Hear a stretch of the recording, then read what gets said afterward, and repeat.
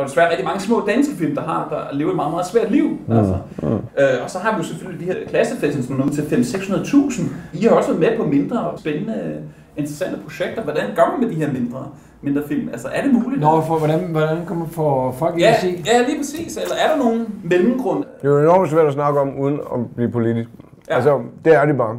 Og vi kan sidde med hver vores idé om, hvad, hvad der burde gøres, og hvad, hvad der skal gøres. Ja, altså, men, men må jeg sige noget? Øh, øh, Sarah Lunds sweater er et større brand end Lurpak smør ude i verden.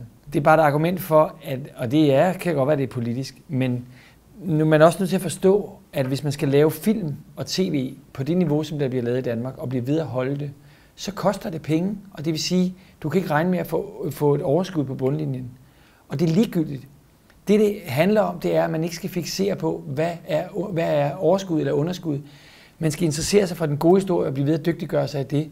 Og så må det give alt det afkast, det ellers skal give.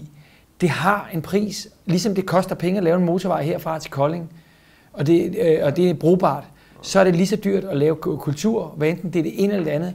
Og så er der noget, der er smalt, og noget, der er bredt.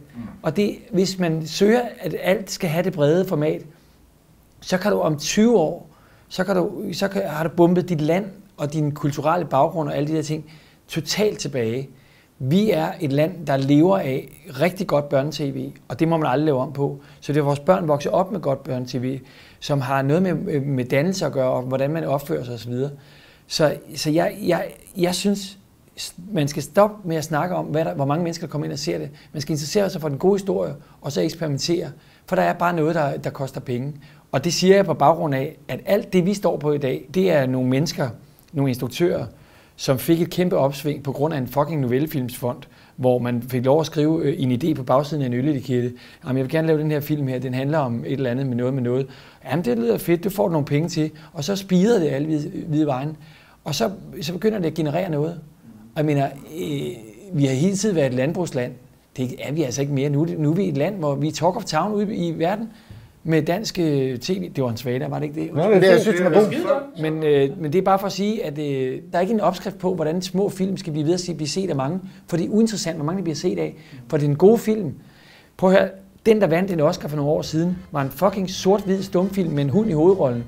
Prøv lige at pitche den til en producent. Den var aldrig blevet til noget, hvis ikke man havde troet på det, og så løber den bare med alt. Så det er kun interessant at snakke om gode historier, hvad der er spændende.